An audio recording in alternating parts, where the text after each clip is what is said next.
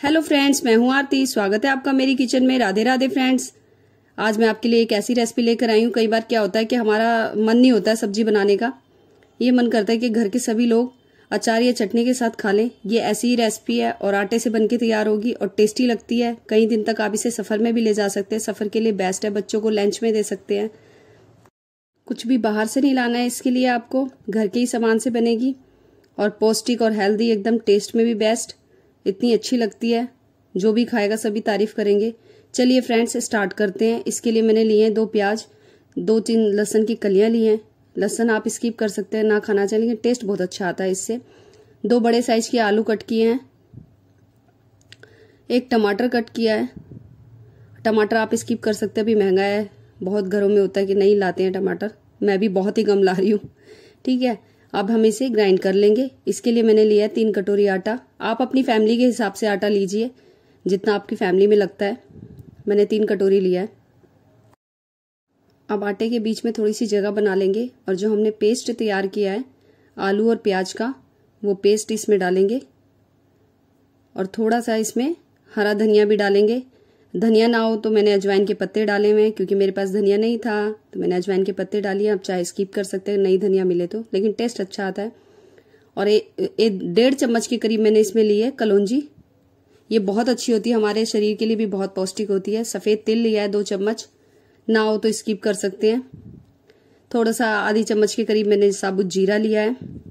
थोड़ी सी अजवाइन क्रश करके डाली। अब देखिए, आप घर के मसालों से कितना अच्छे से टेस्टी और बढ़िया बनके तैयार होंगी। थोड़ा सा इसमें मैंने चिली फ्लेक्स डाले हैं। ना हो तो स्किप कर सकते हैं। थोड़ा सा हल्दी पाउडर डाला है। लाल मिर्च पाउडर डाला है। कम खाते तो कम डालिए, ज़्यादा खाते तो ज़्यादा।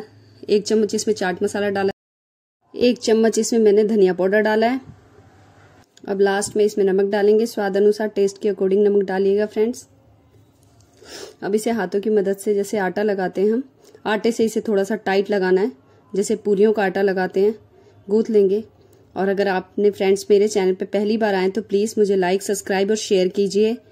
बेल आइकन को प्रेस कीजिए, जिससे कि मेरी आने वाली वीडियो की नोटिफिकेशन आपको मिलती रहे। फ्रेंड्स मैं घर के सामान से ही सब कुछ रेसिपी शेयर करती हूँ।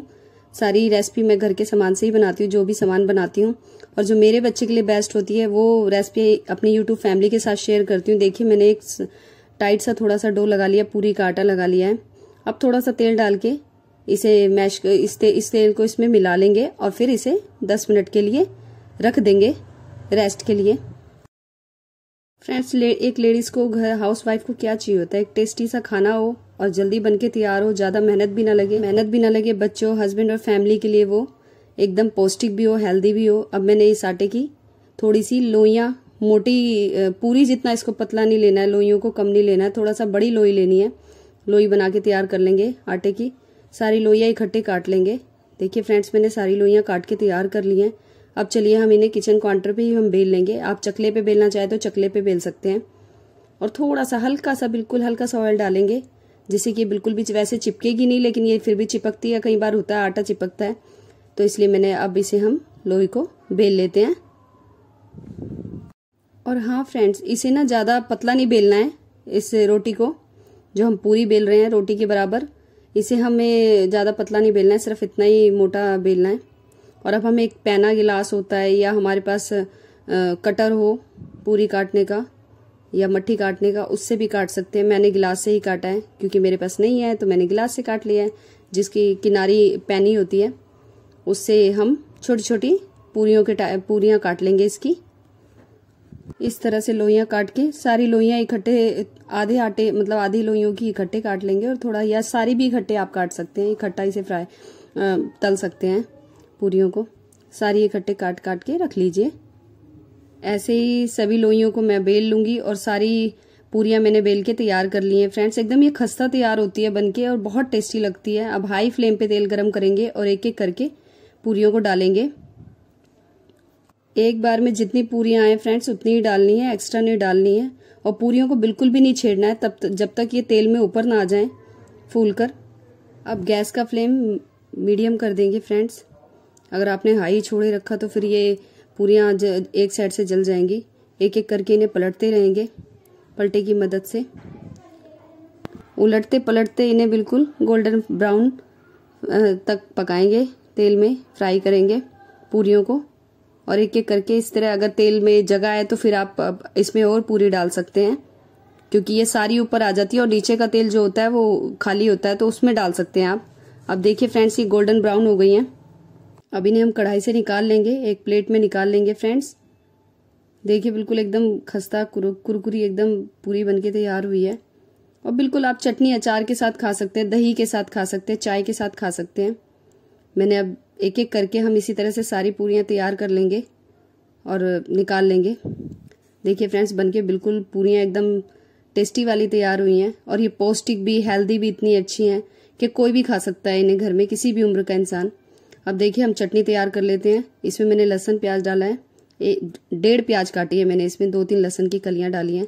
थोड़ा सा टमाटर डाला है, एक टमाटर काटा है। दो हरी मिर्च डालेंगे इसके अंदर।